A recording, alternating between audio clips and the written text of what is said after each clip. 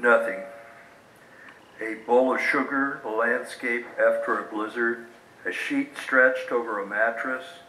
Sometimes utter blankness can be the most beautiful thing.